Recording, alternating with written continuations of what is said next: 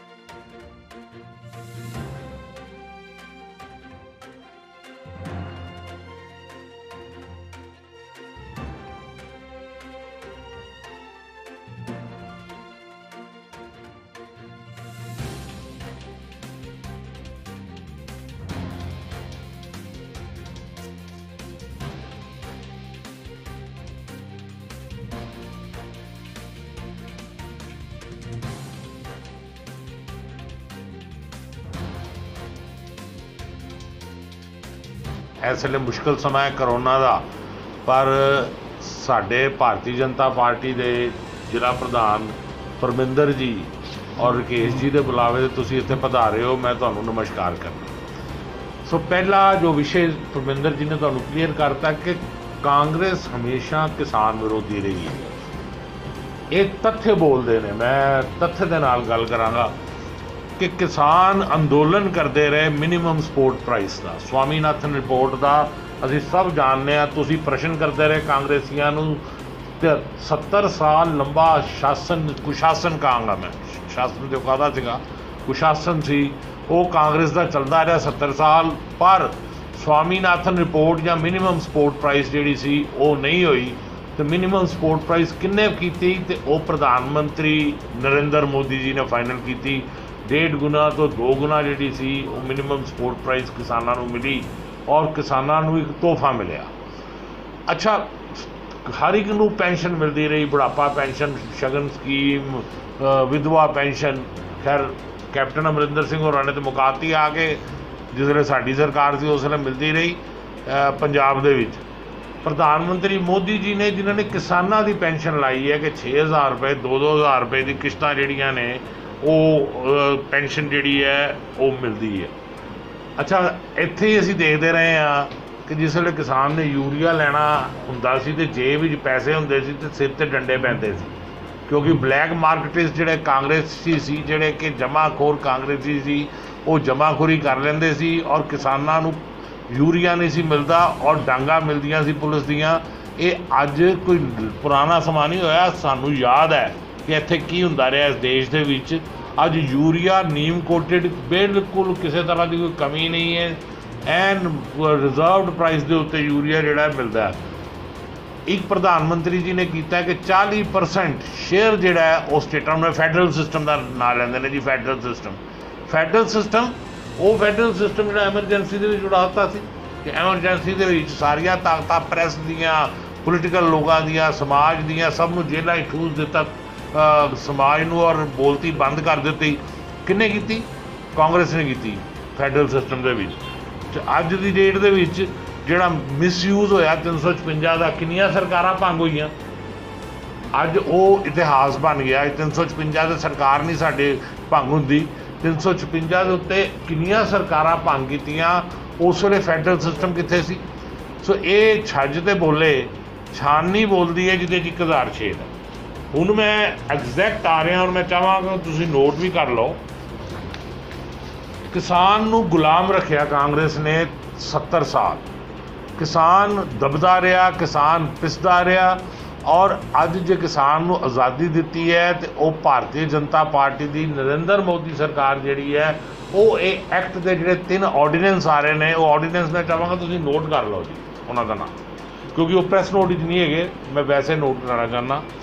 Essential commodities amendment ordinance.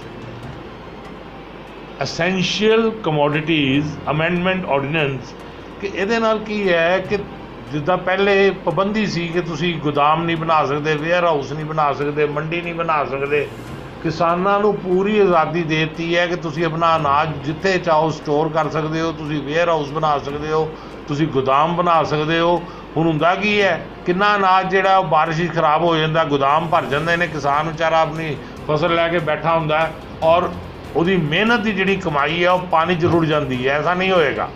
ਇਹ wear houses ਘਰ ਘਰ ਹੋਣਗੇ ਔਰ ਕਿਸਾਨ ਆਪਣੀ ਮਰਜ਼ੀ ਦੇ ਨਾਲ ਜਿਹੜੀ ਹੈ, ਆਪਣੀ ਫਸਲ ਜਿਹੜੀ ਹੈ, ਵੇਚ ਸਕਦਾ ਸੈਕੰਡ ਹੈਗਾ farming produce trade and commerce promotion and facilitation ordinance ਮੈਂ ਫੇਰ ਦੁਬਾਰਾ ਕਰਾਂਗਾ। Farming produce trade and commerce promotion and facilitation ordinance ਇਹ ਹੈਗਾ ਕਿ ਐਗਰੀਕਲਚਰ ਪ੍ਰੋਡਿਊਸ ਦੀ ਮੋਨੋਪੋਲੀ ਜਿਹੜੀ ਹੈ ਉਹ ਖਤਮ ਕਰਨੀ ਹੈਗੀ ਹੈ। APMC ਜਿਹੜੀ ਕਿ ਜਿਹੜੀ ਐਗਰੀਕਲਚਰ ਪ੍ਰੋਡਿਊਸ ਮਾਰਕੀਟ ਕਮੇਟੀ ਇਹ ਪਹਿਲੀ ਬਣੀ ਹੁੰਦੀ ਸੀ ਐਗਰੀਕਲਚਰ ਪ੍ਰੋਡਿਊਸ ਮਾਰਕੀਟ ਕਮੇਟੀ ਜਿਹਨੂੰ APMC ਕਹਿੰਦੇ ਸੀ। 162 ਦੇ ਮੈਂਬਰ ਹੁੰਦੇ ਸੀਗੇ, ਅਸੀਂ ਸਭ ਲੋਕ ਜਾਣਦੇ ਆ। ਉਹਨਾਂ ਕੋਲ ਡਿਕਟੇਟੋਰੀਅਲ ਪਾਵਰਾਂ ਹੁੰਦੀਆਂ ਸੀ। ਉਹ ਰਾਜਨੀਤੀ ਕਰਦੇ ਸੀਗੇ, ਕਿਸਾਨ ਦਾ ਸ਼ੋਸ਼- ਸ਼ੋਸ਼ਣ ਕਰਦੇ ਸੀਗੇ। ਕਿਸਾਨ ਦੀ ਪ੍ਰੋਡਿਊਸ ਜਿਹੜੀ ਹੈਗੀ ਹੈ 25% ਉਹਨੂੰ ਕਿਸਾਨ ਨੂੰ ਮਿਲਦਾ ਸੀ 75% ਨੂੰ ਤਦ ਮਿਲਦਾ ਸੀ ਜਿਸ ਵੇਲੇ ਮੋਇਸਚਰ ਜਾਂ ਹੋਰ ਸਾਰੀ ਉਹਦੀ ਟੈਸਟਿੰਗ ਹੋ ਜਾਂਦੀ ਸੀ। ਹੁਣ ਉਹ 6-6 ਮਹੀਨੇ ਸਾਲ ਸਾਲ ਦੋ ਦੋ ਸਾਲ ਨਹੀਂ ਸੀ ਮਿਲਦਾ ਕਿਸਾਨ ਵਿਚਾਰਾ ਚੱਕਰ ਮਾਰ ਮਾਰ ਕੇ ਤੰਗ ਆ ਜਾਂਦਾ ਸੀ। ਸਾਡੀ ਸਰਕਾਰ ਨੇ ਕਾਨੂੰਨ ਬਣਾ ਦਿੱਤਾ ਹੈਗਾ ਕਿ 34% 64% ਕਨਾਲ ਨੂੰ 64% ਕਿਸਾਨ ਨੂੰ ਤੁਰੰਤ ਮਿਲੇਗਾ ਤੇ ਚੌਂ ਜਿਹੜਾ ਅਹ, 66% ਔਰ 34% ਜਿਹੜਾ 1 ਮਹੀਨੇ ਹੀ ਦੇਣਾ ਪਏਗਾ। ਜਿਹੜਾ ਕੁਆਲਿਟੀ ਕੰਟਰੋਲ ਦਾ ਹੈ, ਕਿ ਉਹ ਸਾਰੀ ਫਸਲ ਨੂੰ ਚੈੱਕ ਕਰਨ ਦਾ, ਉਹਦੇ ਲਈ ਟਾਈਮ ਬਾਉਂਡ ਕਰਤਾ ਹੈ ਕਿ 1 ਮਹੀਨੇ ਫਿਰ ਕਿਤੇ ਵੀ ਕਿਸਾਨ ਆਪਣੀ ਫਸਲ ਵੇਚ ਸਕਦਾ ਹੈ। ਉਹਨੇ ਇਹ ਨਹੀਂ ਰਹਿ ਗਿਆ ਕਿ ਉਹ ਇਸੇ ਮੰਡੀ 'ਚ ਵੇਚੇਗਾ। ਉਹ ਕਿਸੇ ਜਗ੍ਹਾ ਚਾਹੇ ਉਹਨੂੰ ਆਜ਼ਾਦ ਕਰ ਦਿੱਤਾ ਗਿਆ ਕਿਸਾਨ ਨੂੰ, ਸਹੀ ਮੈਨੇ ਇਹਨੂੰ ਆਜ਼ਾਦੀ ਕਹਿੰਦੇ ਨੇ ਕਿ ਕਿਸਾਨ ਨੂੰ ਆਜ਼ਾਦੀ ਦਿੱਤੀ ਹੈ ਤੇ ਇਸ ਆਰਡੀਨੈਂਸ ਨੇ ਦਿੱਤੀ ਹੈ।